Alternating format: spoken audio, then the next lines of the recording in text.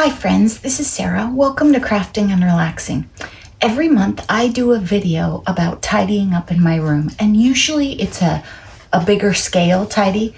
I think this month we need to talk about junk journaling stuff. I was a card maker and a scrapbooker, and when I got into junk journaling, things got away from me. And everything can be used in a journal. I've made covers out of junk mail, pool liner, wrapping paper, shopping bags, you name it. It's out there, and when it shows up in my house, I think, hmm, I'm gonna keep that. But I just started with piles of this is for journaling. I didn't think about subcategories.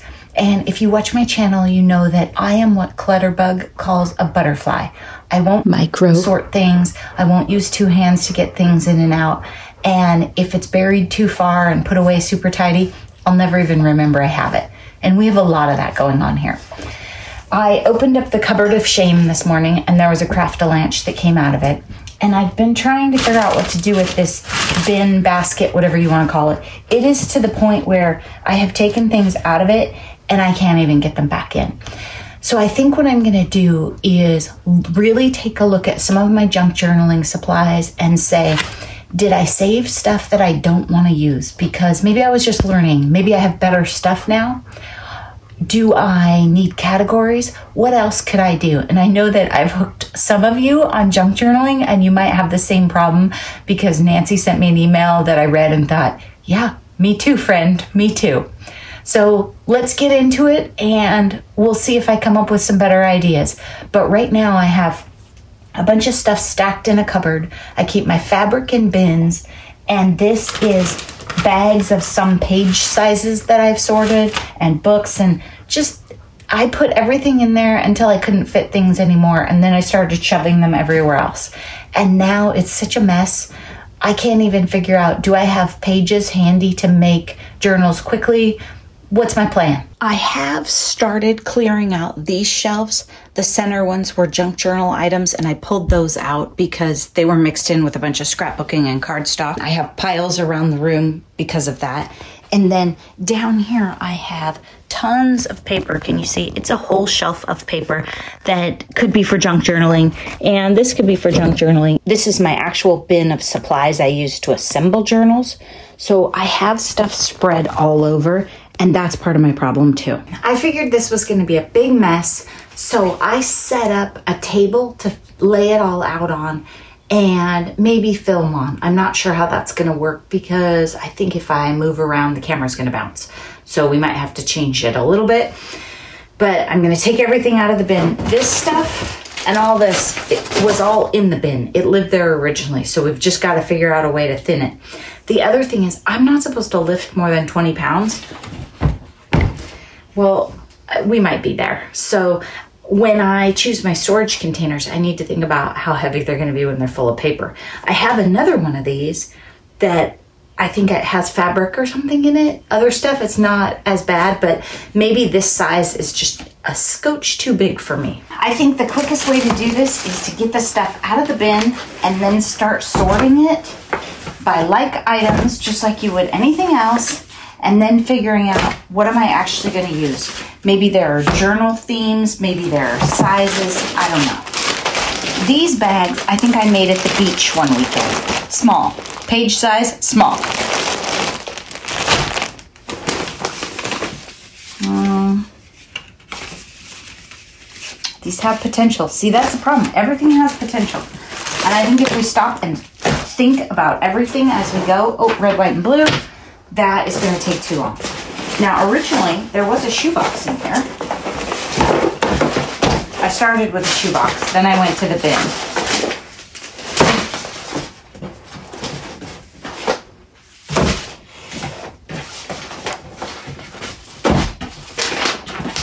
Mm, cars. A yearbook. That's more for art journaling, really. I would never find it in here. There's a number four, but I lost that during a July daily. Because it's a pretty blue. All of the envelopes I'm gonna put together and they're not gonna go back in this bin because they fall down to the bottom and it just doesn't make sense for them to be here. And wow, there were a lot, weren't there?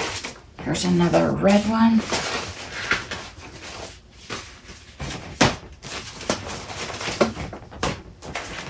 Okay, this is a book that I thought I was going to use. Has funny, yeah, I don't use it. I just don't.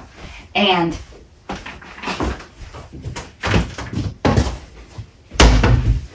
it already was trash once, so now it can really be trash. Don't feel like you have to keep everything because you're saving the planet. This stuff was made. You didn't create it. It's already on the planet. There's a decluttering guide that talks about that. Keeping it in your house will not save the planet. This is a cute sticker. Okay, these are Noni's junk. Uh, I don't know that it makes sense in here. These are my junk. And what I'm going to do with these is I'm going to keep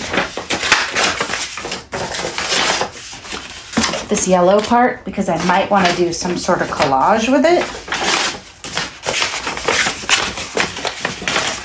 Because you know I'm going to use blue. And then I'll have yellow and blue, right, Cheryl? Okay. Uh, music. There for a while, I didn't have any sheet music. I just thought I was like not going to make it as a junk journaler. I had to have sheet music. And I think I bought a little too much. Or it just shows up. I don't know. Giant envelope. Don't know where that came from. Okay, these are deli papers, like for gel printing, and they just ended up in here, but that's okay. This one, yeah, it's a mess. Okay, teacher's guide and key for our English language. It's yellowed. Doesn't smell too bad. I like it. And in fact, some of this, it has a different color to it. It's more yellowish green than like a vintage brown. I'm gonna pull a couple pages out and put them in my collaging bin that's in the front room. I wonder how much stuff I can put in the front room before Mr. Crafting and Relaxing complains.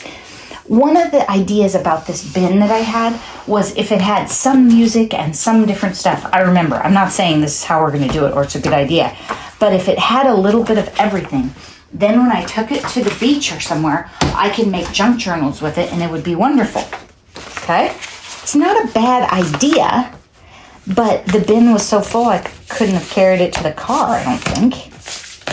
Okay, uh, I have a little golden book because you know I was going to do one of those projects. This is the package to some paper. I don't have to own that. Uh, I don't know why, you know, sometimes you are traveling and then you put stuff away. I, I don't know why I would have put all this cute printed paper in there, but I'm glad I found it right now. Or maybe I was working on my July daily and it landed there. I think maybe Kathy sent me these last year and I'm gonna set these all out in my July daily. In fact, we're sort of two birds with one stone here because I need some pages for my July daily. I don't know if you guys can hear me, but we'll try. How about that? Maybe I need to yell. Oh, one day I thought, well, for like two weeks, I thought I was gonna be like a hand lettering person. And so I had some hand lettering pads. This is just like a regular old notepad. Sketchbook. I think I got this at the art swap or something.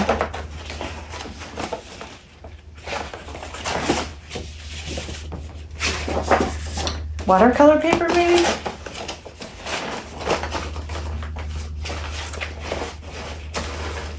Super fancy paper. So let's put, I just got these in a Happy Mail thing. Well, a porch gift from Mary. So let's put these fancy papers in with these other fancy ones. This one's not big enough for a page though. This would be awesome in my book. Okay, then let's put these two in here.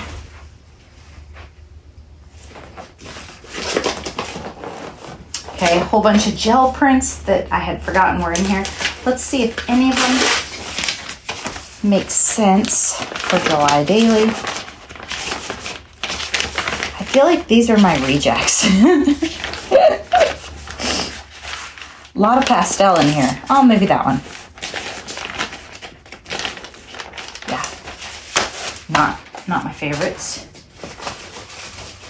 I haven't done any gel printing in quite a while, so those have been sitting here. Uh, cards. Mostly I use these to put washi tape on and Happy Mail, but I never would have found them in there.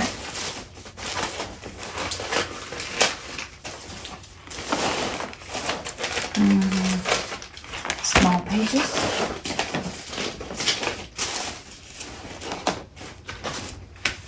Okay, at one point I was thinking I could make journal covers with these. I can make journal covers with them, but I could make journal covers with so many better things. In fact, I think somewhere I have another pool liner, so I'm not going to use that. And I think you just have to be okay to say, I don't like that. I'm not going to use it. In fact, while we're at it, maybe we should put some of this pink paper in my go away pile. Maybe I should wrap a journal. Maybe the pink journal should get wrapped in one of these because I feel like she might like it better than I do. Let's do that too.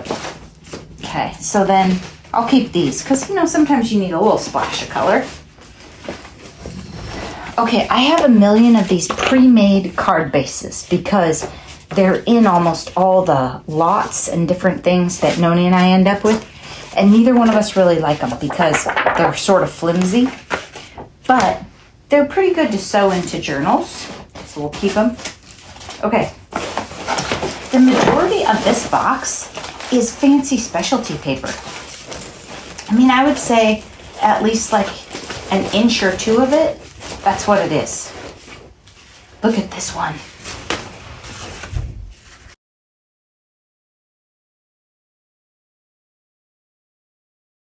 Wilson, that's enough. So they're not they're not big enough necessarily to from one piece make a journal cover, but with that much, you could definitely make a journal cover. But what I was thinking is I should sort things by what I expect them to become because that's where I'm going to look for them. If I keep this in with the pages, the cover will always be made. Okay. I would say this is all pages except for this bit of fabric lost in the bottom. This is trash.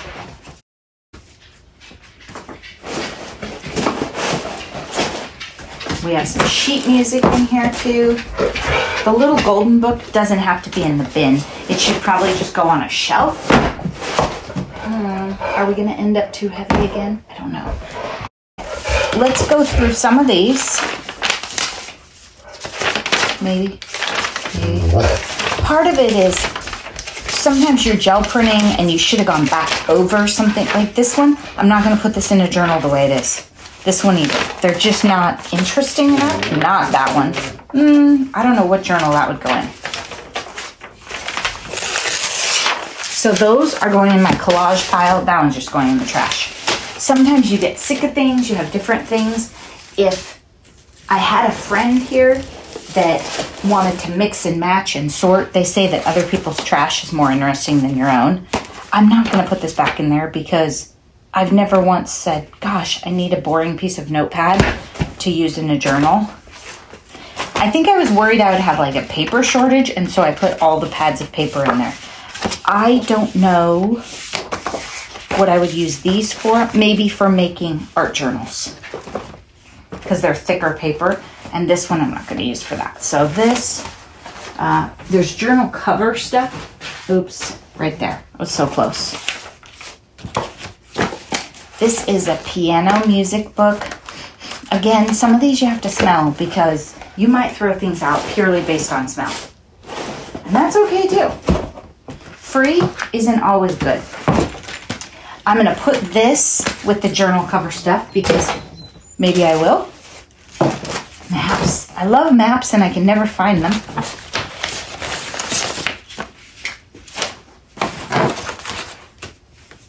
Oh, sales orders, little carbon copy sales orders to put in the pockets and journals. This is really more of a journaling card, goes in a pocket type thing. So I'm going to put this in my other bin that says, what does it say? It doesn't seem to be marked anymore. Oh, here we go. Tags and journal cards. It's things you could write on in journals. Maps make amazing journal covers on the inside. Really cool. Let's see. Kansas City, Kentucky, Great Britain and Ireland. This is going to need a, an inside cover. Since it's my July daily, it would be really awesome if it was a map of the US or a state I've actually been to. A lot of these things I've already taken stuff out of. I don't feel that I need to own that anymore. I do have a giant atlas. Maybe I could get a map of the US out of it. Uh, clearly, I did an experiment here.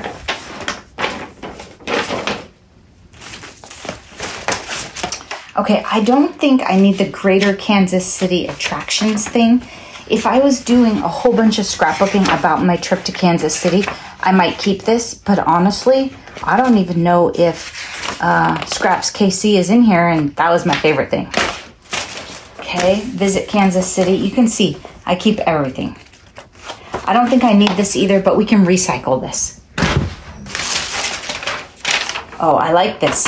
Uh, this came, I think, in a challenge or something. Noni gave me these. She made something.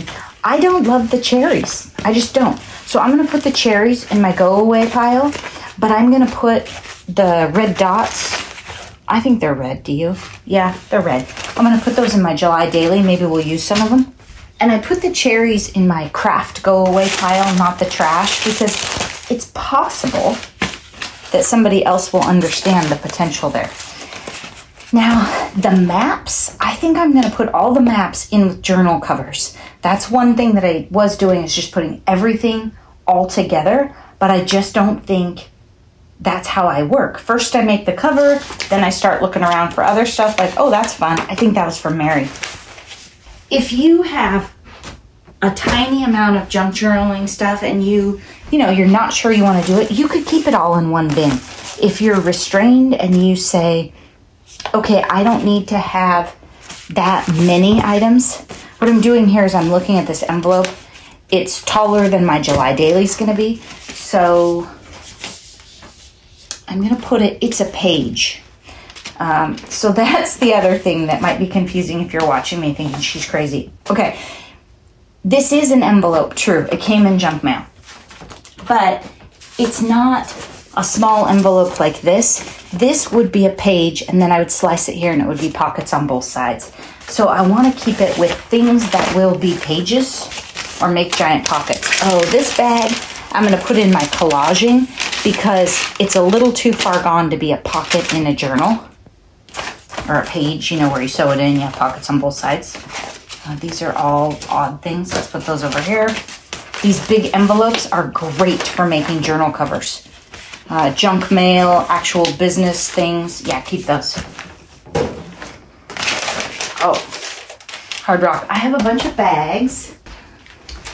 Honeybee Stamps and a lot of other companies, they have cute bags. So if you have cute bags, use them. And in fact, we're gonna put this one in my July daily because it fits. The Honeybee Stamps ones were too big, and I love Hard Rock. Is that weird? I don't know. I've always been a fan and collected their pins when I travel for years and years and years. So let's go like that, probably, and it'll go in my July daily. In fact, let's just put it right in here so it doesn't get lost. This can go right in with these. It's the same concept. Same for the paper bags. Mm, I was kind of hooked on this, but now I don't care. Uh, Pollo Loco, those are really old chip bags. My husband loves Pollo Loco, and we don't have it here. Little brown bag. Uh, let's use that in July Daily, maybe.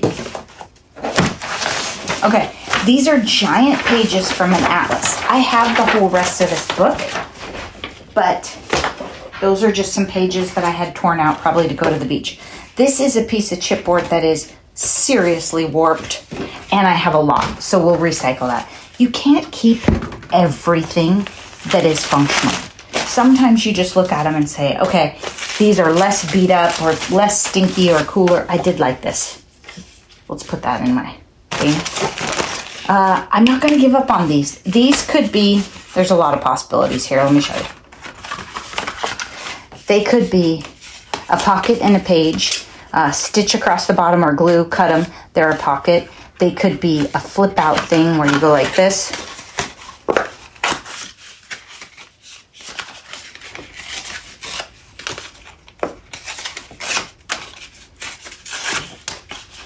Okay, imagine it tidied up with scissors. They could go like that on a page glue this in. Uh, I'm gonna put one of those in my July daily. We'll do that. They're gonna be embellishments or pockets. So I'm gonna put them in the pockets one. Now, I don't think these containers are the right idea yet, but the categories are working for me at least. Pockets, tucks, and envelopes, and tags and journal cards. So essentially, these make pockets or spots in a journal, these go in them. So we can put these index cards in the one for tags and journal cards. This is adorable. It's a little envelope that seems to have glued itself shut. This one, pockets. Now, these are typically cute things, not just junk mail. This one needs some embellishing before I give it a spot in here. Okay, let's see what else we have in here. There are things we haven't even seen yet. Oh, okay. The company store. The reason I have this catalog is, oh, this is part of a piano roll, and I have those somewhere, and they should be in a better spot.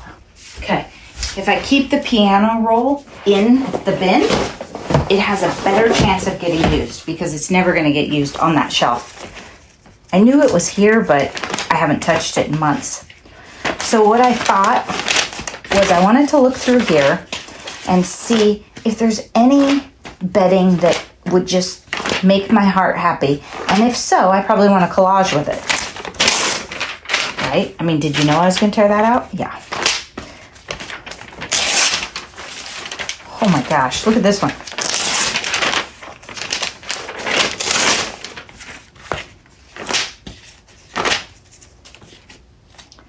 It could be something that you tear and use. I'm not that into fish, but I like the blue. Um, oh my gosh, look at that dog. So when you get catalogs or junk mail, you can look at them. It's not my dog, but it's still a really cute dog has blue fish on the back. We better keep it. And you don't have to look at that one. You don't have to keep the whole catalog because for me, if I do keep the whole thing, I won't even remember why I had it or that I did have it. These are like kids and really neutral. I think we're past the good blue stuff. Okay, now we recycle. Done. Same here cottage style. Okay, so I'll go through this one later on my own. I'm gonna throw it on the floor. Uh, okay, these coloring books. Andrea and I had some of these, and I think we really thought that I would use them. Maybe we got them in a lot. I'm not sure where we got them. I don't use them. I don't put them in my journals. They don't speak to me. I mean, they're cool, but I I'm just, I don't really color. So I think what I'm going to do is I'm going to put this in my go away crafty spot. That way it doesn't just sit in my life and take up space. Okay, these are nice watercolor paper. It was a long story, but I used the other part to make card bases. So maybe one goes in my July daily and some go in tags and journal cards because they'd be wonderful there. Well, this is pretty. Let's use that. Okay, these are an experiment that Noni did with a laminator and glitter, and they make kind of cool pockets. I think I used one in my July daily last year. This one has gold something in it, so I think I'll put this one. Our battery's going low, so you're about done watching this watching this process. I'll tell you that right now. Okay. So this all goes to the collage room. So these bags, I'm going to do the same thing I have done in general. I'm going to go through them and say, okay, this bag says they're going to be pages. And I'm going to look through them and see will I actually use them as pages? Hmm. You have to ask yourself, how desperate would I have to be on paper to use this? Probably pretty desperate. I'd have to be making something small or want a, a small something, maybe. I like the lighthouses. That's cool. These are not big. I mean, they might make perfectly nice pages, but they're not big. This was planner paper, I think maybe in Noni's trash, and I thought I would use it. Oh, that's just cool. Let's put that in my July daily. Uh, a lot of these are scraps from other projects I made, so maybe they don't speak to me as much. Maybe I'm tired of them. These look like I was making journals and prepping. I mean, I've already prepped signatures here, so I just can't let that go. That's like so close to being useful. Oh, here's a green one. When you make multi signature journals, like this one, this one has one, two, three, four, five, six signatures in it. You need a lot of paper. That is a ton of paper. Oh, and look at the map on the inside. That's a cool one. So, and in some of these, right, it was motorcycles and Mustangs. It's a good one. You use a lot of paper. And if you want variety, you might use a lot of these small things just to make it happen because I think this was a Triscuit box, maybe. So it's not an eight and a half height. So you use a lot of these things. So depending on what kind of journals you're going to make, are you going to make ones like this? If so, you'll need a lot of page material. If you're going to make more like this, where they're scrapbook papers, you don't need a lot of page material. You just need a lot of decorative and ephemera type stuff. Since I make it all, I seem to think that I need it all. I need to charge my phone, so I'm gonna go plug my phone in and I'm gonna work on this and then I'll show you how it turns out. I'm gonna set a timer for 15 minutes. I think I made it worse. I just wanted to show you what it looks like. Recycle and the pink paper for wrapping. This is gonna go in holiday stuff. That's gonna go in collaging. This is just gonna go. It is all pastel I tried to like it, tried to use it. I haven't. I found some blue stuff and took it out. This bag was fairly well sorted. I just organized it a little bit and I added some envelopes that were full size. I added to my July daily pile. I took some of the music out of here and put it in there for collaging and I put some in the small pages. So I'm not going to put this back in the bin. So if the idea is grab the bin, pull it out, and make a journal, you wouldn't necessarily need to have this whole book in there. Just some of it, a little here and there. This box is all envelopes, and they were all in that bin. So I either need to think about doing some envelope projects where they're solely, oh, this one I could collage on, where they're solely envelope books. There are a lot of ideas for those or I need to use more envelopes. I typically, in a journal, I might use two. That's it. I wouldn't use a whole bunch. Envelopes, a stack of envelopes. These are all not A2, so they're not card size. So I've been trying to figure out what to do with these. I'm going to put all of these in here together. And these are not something that I always need to have. This, I'm going to put that bag back in it. It's lighter. I took out the box. It lets things lean a little and get in there. These are folio type things with cream colored papers in them. I'm going to go through and make sure there's nothing. Okay, like this is shimmer paper of some kind. I don't want to use that in a journal. I'd much rather use that on a card. So I'm going to go through and be sure there's no paper in there that I would prefer to use for cards. And then I'm going to put those back in there. So I think it's going to be about half as full, which means I should be able to move it around. But I'm still trying to figure out what to do with these tags and journal cards and the pockets. Maybe they need a shoebox. They will stick up high, so they're not going to be stackable. This one will fall over, I think, at some point. It gets a little floppy. So that's what I'm going to do. I'm just going to tidy this up a little bit, and my July daily pile keeps growing. My categories for a while will be stuff I would make covers, stuff I would make the pages of the journal with, uh, envelopes, I need to whittle this down and then maybe just put them in there and then things I would decorate it with tags and journal cards and pockets and embellishments. Maybe I have like four categories. Over here, I think this is all sheet music. Like I said, I got a little carried away. I'm not sure it's all Yeah, it's all sheet music. Oh no, there's some manuals and craft books. It's all vintage junk journally stuff. And so that might be another way that you would separate. Maybe you would have your vintage stuff together and then your bright colored because I do have on top of everything I've showed you. I'm embarrassed to admit it. Up there I have a bunch of envelopes and paper bags, covers. Then down here I have tubs I have iris cases that will someday be journals. Travel journal, journal supplies from Beth. That's really cool. Vintage stuff, vintage and natural. There's also some collaging stuff in there. Oh, junk journal stuff I like. My next journal. Interesting. I should probably look in there and pull that out for July Daily. DigiKit from Melody Made, and it's beachy. So let's pull out stuff I like. Clearly, it's blue and see if we can use some of that up, you can see it just starts to spread. If you had told me that I would have a craft room with leftover kitchen cabinets and a 10 foot section of counter and a six foot section of counter, and it would be this full, oh, and this cabinet, I would not have believed you at all. But clearly it's gotten away from me. So I'm really trying to think about what will I use, not just what is usable, but what will I use? If I have a bunch of pink paper, like that paper, that's gorgeous paper, I'm not going to reach for this to use it.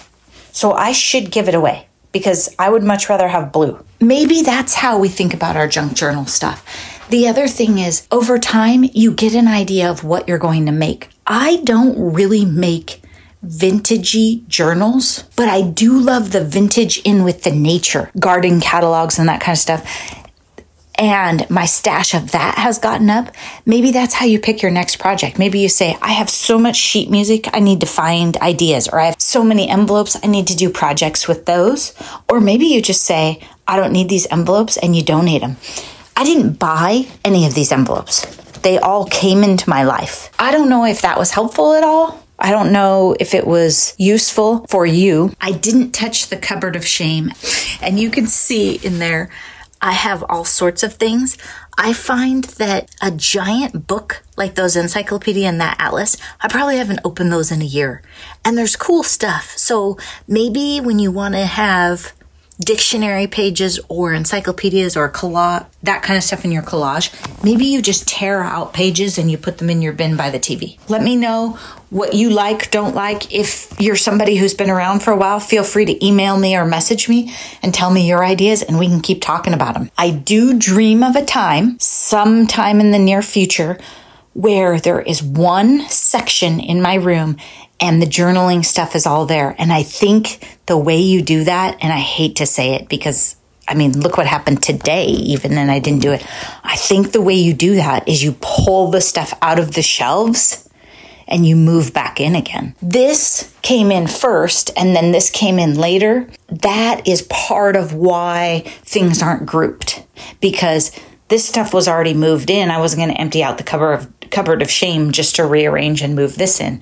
Maybe that's what I need to do. I just think you have to rethink your space all the time and look at what you are using and not using. My mixed media stuff, sadly, has just been sitting down there. If you remember quite a while ago, I took it out of my rolling cart because I wasn't using it and I didn't think it was high enough priority for my cart, but I haven't been doing mixed media. It's in my goals to do every month, my crafty goals. I don't do it. It's not that I don't like it, but I'd have to clear a spot, right? I wandered off, did a bunch of things, had dinner, all kinds of stuff happened. Overall, I'm glad that I did this today, and I think it was a good idea. I had many other things I probably should have been doing, but I think it turned out okay. I do like the categories that I have for pockets and tucks tags and journal cards. I have this box of envelopes, which is likely a project down the road.